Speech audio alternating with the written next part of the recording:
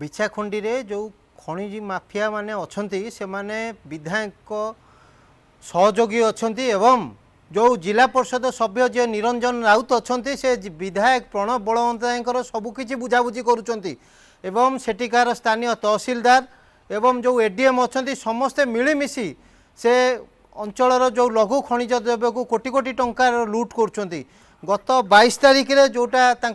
tender প্রক্রিয়া লা tender খোলা হবার লা আজ পর্যন্ত খোলা যাও না কোণ পাই খোলা যাও না তাহার কিছু সঠিক তথ্য সার্বজনীন জেলা প্রশাসন করু না কোণ পাই কারণ তাঁক ভিতরে ভাগবন্টা ছিড়ি পু না এবং তাঁকু সঠিক যে পিসি আদায় করা কথা এপর্যন্ত পিসি আদায় হয়ে পু না যেত সূচনা মিছে ছত্রিশটা সৌরাত নটি সৌরাত নটি নটি স্থানর সেটি হাইকোর্টক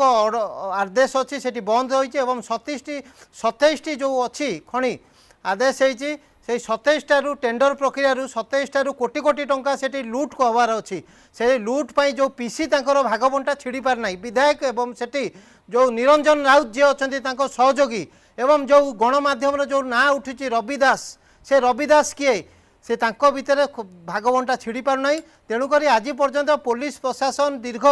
ପଚିଶ ଦିନ ପାଖାପାଖି ହେବ ସର୍ବେଶ୍ୱର ବେଉରାଙ୍କୁ ବୋମାମାଡ଼ ହୋଇଥିଲା ଆଜି ପର୍ଯ୍ୟନ୍ତ ପୋଲିସ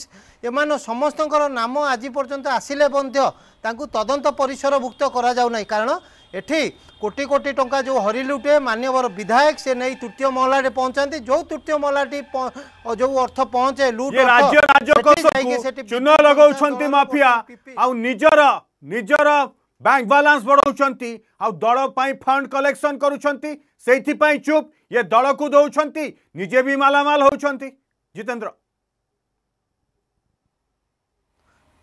সেইপাই সে চুপ হয়ে বসিছেন যাকি বিজু জনতা দলর মুখিয়া যে নবীন বাবু দেখুম আম পাখক ঠিক সে ঠিক আমার ফন্ডিং আসছে বিজু জনতা দলর যে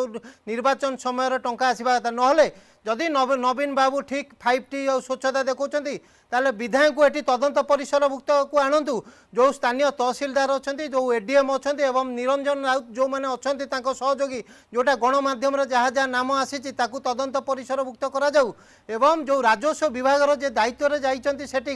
মানে রাজস্ব আদায় করা রাজস্ব আদায় ଆଦାୟ କରିବା ପରିବର୍ତ୍ତେ ରାଜସ୍ୱ ଲୁଟ୍ କରୁଛନ୍ତି ଯେଉଁ ଏଡିଏମ୍ ଅଛନ୍ତି ତହସିଲଦାର ଅଛନ୍ତି ତାଙ୍କ ଫୋନ୍ କଲ୍ ଯାଞ୍ଚ କରାଯାଉ ଯାଞ୍ଚ କଲେ ଆପଣ ଜାଣିପାରିବେ ଏମାନେ ବିଧାୟକ ଏବଂ ଖଣି ମାଫିଆଙ୍କ ସହିତ ସମ୍ପର୍କ କ'ଣ ଅଛି